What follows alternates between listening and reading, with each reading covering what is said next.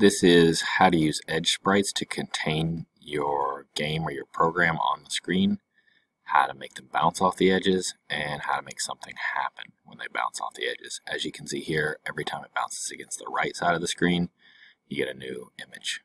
So let's jump right in. You'll start on code.org uh, by clicking Create in Game Lab. That's where you see me now, and you'll just start with an empty project. Under Sprites, you grab this bar sprite, then you want to have a draw loop, and you want to draw it on the screen. Okay, he's drawn on the screen. Now let's add a background inside the loop, and we want him to move around, so let's give him a velocity x. And let's put that above the loop. And We'll just start with a velocity of 5. Okay, so now he's moving. Now the next thing we want is for there to be something for him to bounce off of. So under sprites, there's a line of code that I don't think is ever taught that is create edge sprites. And let's just take a peek at the C examples here. And what you'll notice is whenever you use create sprites, it's going to make uh, something called a top edge, a left edge, a right edge, and not shown here is the uh, bottom edge. Don't see that one on here anywhere. So let's go ahead and make uh, create edge sprites right here. You won't see any difference. Everything looks the same. But then we can use this bounce off and just say edges.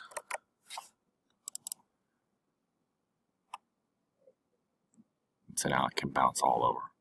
Now that he's moving around, we can give him a Y velocity so he moves up and down as well. And just so we don't have the same program every time, let's set both of these velocities to a, a random number. And I'm going to go negative 10 to 10.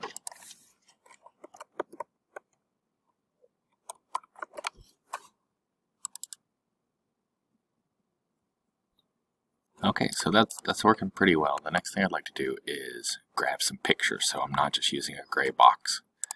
And uh, there's a little scribble I did earlier. Let's get rid of that. Uh, and I'm kind of feeling like vehicles this time. So I'm going to add just one here. And then instead of adding another one here, I'm going to add lots of them here in the frames. Which if, if you're in a lesson you may not see, but if you're in the projects tab you will. So let's go ahead and add more vehicles. And what I just noticed when you're doing frames is when you add um, you, it doesn't automatically close this for you, so you can keep adding more. And you can see them popping up over here. And I'm just grabbing a bunch of them. That one's really cool. Alright, that's enough. So you can see I've got a bunch of them in here. And if I go ahead and set animation on my sprite here to that, I've only got one, but all these different vehicles are inside of that one, that it will cycle through them automatically. Alright, so they're kind of big and they're moving too fast. I'm going to work on both of those things. So first I'm going to scale them down to maybe 0.25. Alright, now they're small enough that I can see them bouncing around again. The next thing I want to do is I want to control when they're switching pictures. So the first thing I'll do is pause pause the frames. So I'm going to come down here to sprite.pause, and that can go outside of the draw loop. So now it'll stay on the first one that I chose. Maybe a little bit bigger would be okay. Four. Yeah, that looks better. And then I'm going to use this next frame to control when. So I'm going to make it where it only changes images whenever it bounces on the right side of the screen. So the first thing I have to do is I have to know that bounce off actually doesn't allow things to touch. So when I'm bouncing off the edges, I'm switching velocities right before I touch.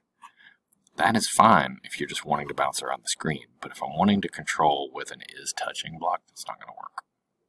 So because we're going to treat the right edge differently than the other edge, we're going to take this edges off and just say uh, top edge. I did that wrong capital E in the middle. And now let's copy this guy and do the same thing for the bottom edge and left edge.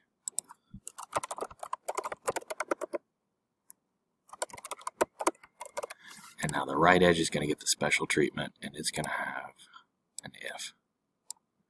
We're going to say if the sprite is touching the right edge. So I'm going to grab is touching.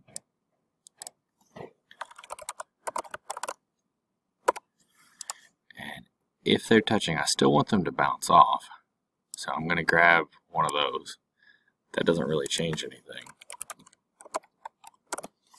But what is going to change is I'm going to put a sprite next frame so that every time it touches the right edge, first it's going to change pictures uh, in here. It's going to change to the next one of these in the list, and then it's going to bounce off. So that's why the right edge is different right here in the F. Okay, let's try it out. Kind of slow. I think that's my lagging computer. There. Alright, I think it's working.